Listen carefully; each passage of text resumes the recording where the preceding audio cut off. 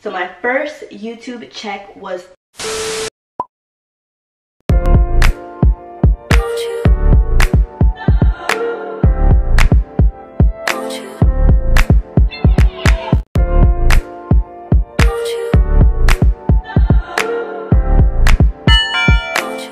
What's up, K Gang? Kaye Enigma here. K A Y E N I G M A. What's up? Looking good? I keep slaying as you should. And if you are new or returning, do you love me? I know you do. So like, comment, and hit subscribe too. Hey, like, comment, and hit subscribe too. So we're gonna cut right to the chase, you guys. I know that's what you are here for. I am going to disclose my first YouTube check and about how much I made at the end of the video, but this is also going to be a kind of walkthrough, talk through on how to get monetized on YouTube. If you guys don't know, I have recently been monetized on YouTube, so shout out to you guys for getting me to my threshold of subscribers and watch hours. I always, always voice my appreciation, but I just want to give another quick shout out to you guys. Even though I put in the work for you guys to watch my videos, I wouldn't be where I am without you guys actually watching them. So just a quick shout out to y'all. But anyway, let's get into how to get monetized on YouTube. Now, basically, you need 1,000 subscribers and you need to reach 4,000 watch hours over the span of the previous 12 months. So I'll insert clips here of me kind of climbing. I had the 1,000 subscribers and it just took me getting the watch hours and a lot of people get confused with that. You can have people who subscribe to your channel. Like somebody can have 2,000 subscribers, but let's say that some of those subscribers are inactive or people are not watching your video all the way through. So the more watch time minutes you get, that totals up into hours and that will help you reach your threshold. So it's not that subscribers are not important, but it's much easier to reach 1,000 subscribers than it is to get the watch hours. So a lot of people you'll see have a 1,000 subscribers, but they're trying to get their watch hours up. So they may start making longer videos or they may tell you, you know, watch the full video and leave certain parts at the end so you'll you'll watch the full video and they will get the time. Once you reach the threshold for monetization, your channel will automatically be sent to YouTube to review and they will basically make sure that the hours that are counted within your watch time are legitimate. So basically, let's say there is a video that got a lot of watch time, but it's not necessarily within the community guidelines that unfortunately will not be counted. So even though your channel automatically goes into review and you don't have to send them anything, I waited until, you know, I was a little over 4,000 watch hours, about 4,100 before I just, you know, got super, super excited. I didn't want to be at exactly 4,000 in case there were some videos that didn't count, whether that be for copyright reasons, for community guideline reasons, but luckily none of my videos, you know, didn't reach the threshold. I got monetized right away and it can take anywhere from two weeks to a month for your channel to get reviewed. And that is what allows you to get monetized. So even though your channel reaches the threshold you don't immediately just get monetized right away. There are a lot a lot of steps once you reach the threshold. So it's a very long process but it's worth it in a sense because basically it's just like measures they have to take to make sure that you are you. You are securing yourself on a platform. So there's a lot of steps you have to take to verify a lot of different information, which is what takes the most time, not necessarily getting monetized you will get an email from YouTube and I will put mine on the side, somewhere on the side of the screen of what it looks like. It basically emails you to the email connected to your YouTube account and it tells you congratulations, your channel has, you know, it's good to go, it's good, it's been under review, you're good to go, and immediately your channel is monetized. You immediately get little green icons underneath your channel um, underneath your video. So if you go into your YouTube studio, which if you do not have YouTube studio and you are on a YouTube platform and you're a YouTuber, definitely download it to your phone and you can go online as well, but sometimes it's a little more accessible on your phone. There are certain features within the YouTube studio app on your phone that you cannot access um, online as much. So definitely the desktop version is better. But if you need to just edit quick little things on your phone, that's a great app to have. A lot of the times I will already have my videos uploaded to YouTube, but I need to like change the thumbnails or change the description and add tags on my phone if I'm on the go, even though it's already scheduled. So it's very, very helpful. This is not a sponsorship. This is just me trying to help y'all out. So this is going to be jam-packed with information. So make sure you subscribe, enjoy the K Gang, and keep it being lit, fun, and having a good time because that's what we are. We're informative, but we also have fun. So the thing that I had to learn with this was you will either see green icons, yellow icons, or you will see a line through the money sign. What it basically means is if you see a line through the money sign, that means your video is not making any type of money. That means you're not getting money, that video is not under YouTube guidelines. It's either for copyright reasons or it doesn't meet like it's inappropriate, something within the video, and it will normally tell you the reason why. That reason is normally for copyright reasons. Now, a big feature that YouTube has had, which a lot of YouTubers are having trouble with, is the yellow icon. So the yellow money icon means that your video has some ads, but it's not displaying all. So basically how you get money basically from your videos is through Google AdSense. So when you get monetized, that money that you are getting from your videos is from ads being placed on your videos. So these little icons, when you upload a video or for the videos you already have on your channel, tell you if your video is suitable for you to make money off of it. So a lot of YouTubers will re-upload a video because their videos get yellow marked. So that's why it's best to put your videos on private and if they get yellow marked, try to re-upload them or see the reason why. A lot of my videos got yellow marked as far as my more controversial videos. So sometimes you have to change the titles around a little bit or you have to just put it under review if they just yellow mark it for absolutely no reason. And the reason being is because there have been a lot of people who have taken advantage of the YouTube platform and they've kind of had to implement all of these steps so that way they know your video is safe, the right people are viewing it. So it is kind of a pain for the people who are genuinely trying to put out good content whose videos constantly get yellow marked. But I promise you, once you put it under review, it claims that you need at least a thousand views, but there's a lot of my videos that got yellow marked that didn't have a thousand views. I put them under review and they reviewed it right away and they were like, your video is good to go. And the yellow icon changes to green. So just a thing out there, if you see that your videos got monetized but they have yellow icons, you have to go through each individual video and set your monetization. So I had to go back to all of my videos and I had to independently put ads on them. Now, a big thing that YouTubers do, if you see that their videos are over 10 minutes or they stress like getting their minutes, getting the video to 10 minutes, it's because when your video is over 10 minutes, 10 minutes or over, you can put however many ads you want. So if you have a 10 minute exactly video and you want to put 20 ads on it, you can do that. You have to go back through all of your videos and you have to put ads on them and if you go into your YouTube studio, I don't know the exact buttons you have to press, but for me, I go to the new YouTube studio and I click the tab that says monetization. And when you click the tab that says monetization, it will pop up a screen that basically will lead you to a page that tells you that your YouTube account is monetized, you're part of the YouTube partner program, meaning that you're monetized, your videos are making money, all of that good stuff. And underneath it at the bottom, it will say monetization settings for future videos and then monetization settings for individual videos. You can set your monetization settings for future videos. So basically, if you want your videos to upload on private, what you want your description bar to say, um, what you want your title to say, if you want to put a default title, basically all of your defaults.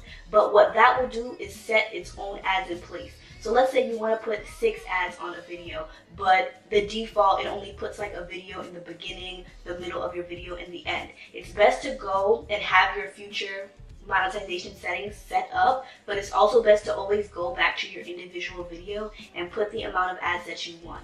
If you have a video that is under 10 minutes, it will just be a ad at the beginning and I believe an ad at the end. So if you have a video over 10 minutes, like I said, you can put as many ads as you want before, during, and after. So just a little tip. Now, it gets a little bit confusing because like I said, you get your money through Google AdSense. Now, YouTube Partner Program will show you a different amount than Google AdSense.